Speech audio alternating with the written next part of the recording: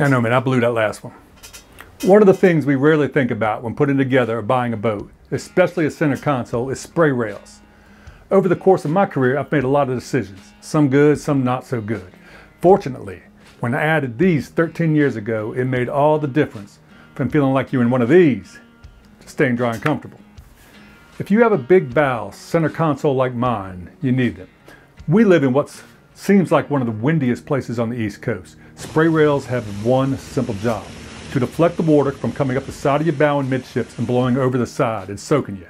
When I first bought my rig, I didn't have them. But after getting soaked while running her from the tower, and I knew my crew may act like good sports, but there was no way they could enjoy getting hit in the face with gallons of water. My dock partner turned me on to a product called Smart Rails from Integrity Marine Corporation. Find them on the internet. It may be the only place you find them because I couldn't find them on the socials and I couldn't find a product video on YouTube. I know, man, hard to believe nowadays. And this shit you gotta know, my misguided partner, Captain Dave Lusk of Salt Minded Fishing, and I are going to install a couple of spray rails on his newer but wet rig, the Salt Minded. Piece of cake.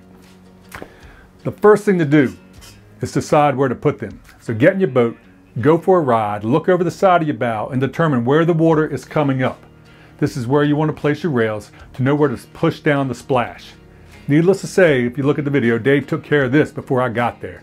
Dave measured where he wanted to place them, then ran some painter's tape as a mock-up. This is the hardest part. And if a guy with limited spatial reasoning like myself can figure this out, so can you. So go ahead and frame out your mock-up, scuff your hull where you do it with 220 grit. Then go ahead and after you're done scuffing, wipe it with denatured alcohol or mineral spirits. Give it a few minutes to dry. And then if you haven't read the directions, now would be a good time to do so. Just to make sure you know what you're doing.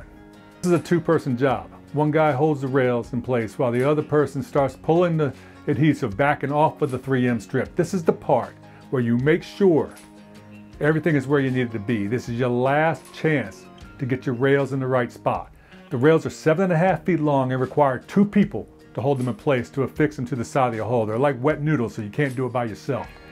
The adhesive is strong. It will hold your rail in place while you go get your glue kit ready that came with the rails. The only thing not provided for the next step is a caulk gun, and you will need one. Read the directions.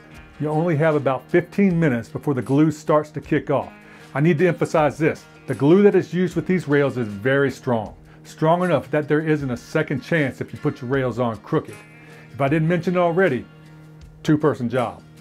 While Dave was squeezing the glue into the gaps at the top and the bottom of the rails, I was gently pulling up or pulling down so he could get the tip of the syringe into the crack. It's not very hard, but don't be stingy with the glue. Just don't get it on your fingers. Pretty sure your skin will come off as well. Walk around and look, hell yeah, your rails are fixed. Admire your work. High five your helper. You are a freaking craftsman. You and your passengers are going to be dry and happy. And this, my brothers, is shit you got to know.